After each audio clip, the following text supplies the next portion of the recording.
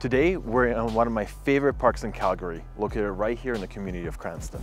My newest listing is a beautiful semi-detached home with tons of upgrades throughout.